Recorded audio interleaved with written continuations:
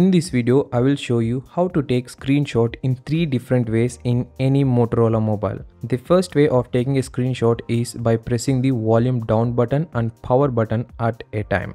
Basically, this feature is there in almost all Android mobiles and even this Motorola also has. The second way is three fingers screenshot. To enable this, go to settings on your mobile and choose display.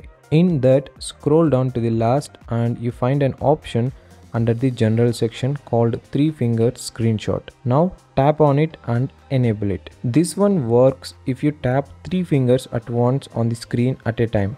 Do not swipe just like I did, it won't work. Just tap with three fingers at once. If in case you want a long screenshot, tap once and select this record button so it automatically take the long screenshot.